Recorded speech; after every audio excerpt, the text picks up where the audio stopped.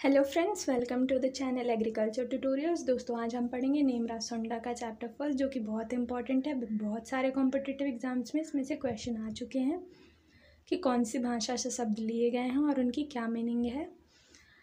दोस्तों, इस चैप्टर को स्टार्ट करने से पहले मैं आपको एक ट्रिक बता देती हूँ, जिससे ये आसानी से याद हो जाएगा। दोस्तों, जिस वर्ड के लास्ट में कल्चर आता है, जैसे एग्रीकल्चर में आप देख रहे हो लास्ट में कल्चर आ रहा है तो जिन भी वर्ड्स के लास्ट में कल्चर आएगा, वो लैटिन वर्ड्स होते हैं और जिन वर्ड्स के लास्ट में लॉजी आता है, जैसा आपने देखा है पेडोलॉजी में वो ग्रीक वर्ड होते हैं। लॉजी वाई ऐसा कुछ भी आया तो वो ग्रीक वर्ड होते हैं। बस एक एक्सेप्शन है पोमोलॉजी लेक्चर स्टार्ट करते हैं। एग्रीकल्चर एग्रीकल्चर में लास्ट में कल्चर आ रहा है, ये होता है लैटिन वर्ड ये दो शब्द से मिलके बना है एग्री और कल्चर एग्री मतलब होता है सॉयल और कल्चर मतलब होता है कल्टीवेशन यानी सॉयल के कल्टीवेशन के बारे में जिसमें हम स्टडी करते हैं, उसको हम एग्रीकल्चर कहते हैं। एग्रोनॉमी एग्रोनॉमी ग्रीक वर्ड से लिया गया है एग्रोज मतलब फ़ील्ड और नोमोज मतलब मैनेजमेंट फ़ील्ड के मैनेजमेंट के बारे में जिस ब्रांच में हम स्टडी करते हैं, उसको हम एग्रोनॉमी बोलते हैं.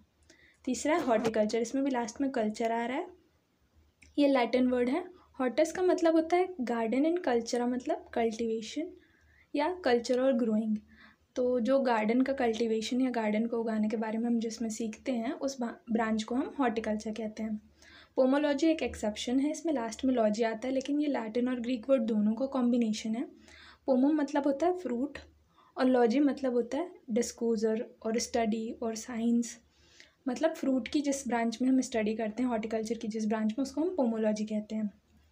Fifth one is olericulture last में कल्चर आया लैटिन वर्ड ओलेरिस मतलब potter and culture is a English word means cultivation जिसमें हम वेजिटेबल्स के कल्टिवेशन के बारे में स्टडी करते हैं, हम उसे ओलेरिकल्चर कहते हैं।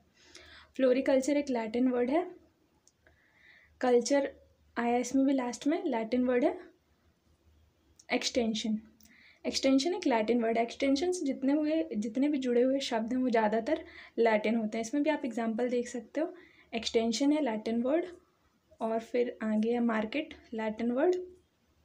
Credit, Latin word. Society, Latin word. ये सब एक्सटेंशन से रिलेटेड वर्ड्स हैं, ये सब लैटिन में ही आते हैं ज़्यादातर एक्सटेंशन से रिलेटेड वर्ड्स एक्स मतलब आउट एंड टेंशो मतलब stretching out of school system of study को हम एक्सटेंशन बोलते हैं. Soil science Latin word catena, जिसका मतलब होता है chain. Soil Latin word solinum से लिया गया है जिसका मतलब होता है ग्राउंड या धरती. मॉनसून एक अरेबिक वर्ड से लिया गया है, मौसम, जिसका मतलब होता है सीज़न बायोडायनामिक्स बायोज मतलब लाइफ और डायनामिक्स मतलब एनर्जी। मतलब लाइफ एनर्जी के बारे में जिसमें हम स्टडी करते हैं, उसको हम बायोडायनामिक्स बोलते हैं। Truck gardening truck. French word troquer से लिया गया है।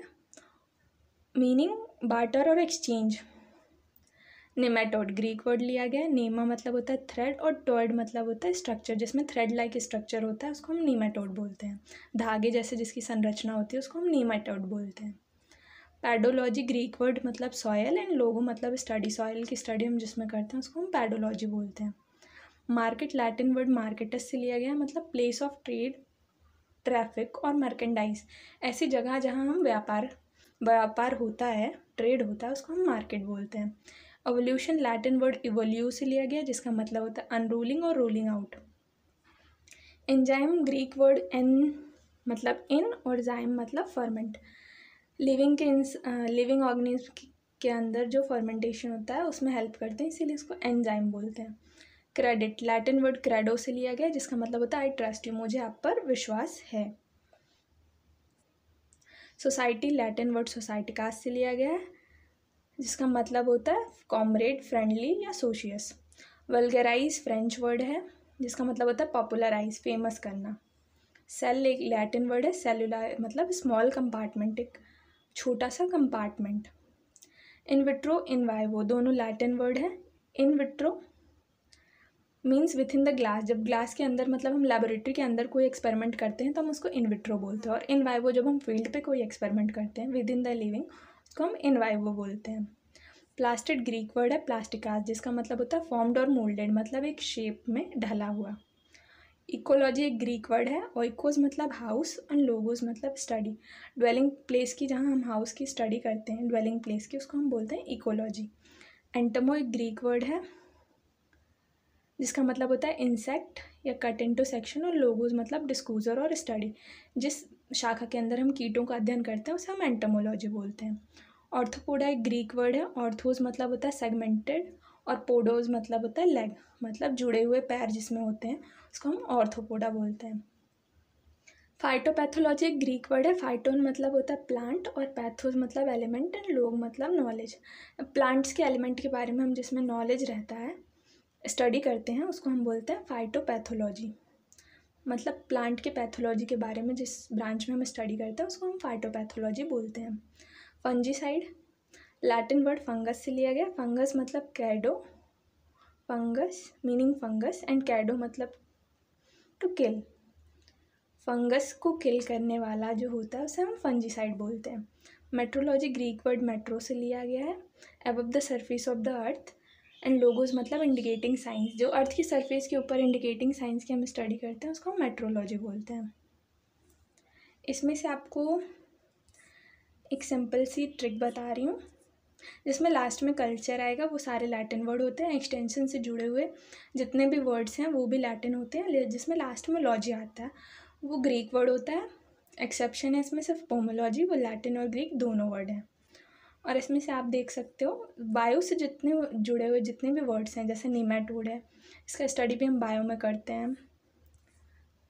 बायोडायनामिक्स बायो वर्ड आया, ये भी ग्रीक है। नीमेटोड भी ग्रीक है। एंजाइम भी ग्रीक है। सेल बस को छोड़ के, सेल लैटिन वर्ड है। इसका मतलब होता है स्मॉल कंपार्टमेंट। स्मॉल कंपार्टमेंट मतलब कंपार्टमेंट होता है बिल्डिंग में, और बिल्डिंग कहाँ पाई जाती है? सोसाइटी में। तो सोसाइटी एक एक्सटेंशन का वर्ड है, इसीलिए सेल को हम एक्सटेंशन में मान सकते हैं, और बाकी जितने भी बायो से रिलेटेड वर्ड है, ecology, plastid, entomology, arthropoda, phytopathology, ये सब ग्रीक वर्ड में आएँगे। मौसम के बारे में भी हम अध्ययन करते हैं मेट्रोलॉजी का भी। साइंस में ही करते हैं, इसीलिए ये बायो में आएगा तो ये भी ग्रीक वर्ड होगा। हिस्ट्री ऑफ़ एग्रीकल्चर हम नेक्स्ट लेक्चर में करेंगे। आई होप सो आपको फ़र्स्ट लेक्चर अच्छे से समझ में आ गया। कैसा लगा लेक्चर कमेंट सेक्शन में हमें ज़रूर बताएँ।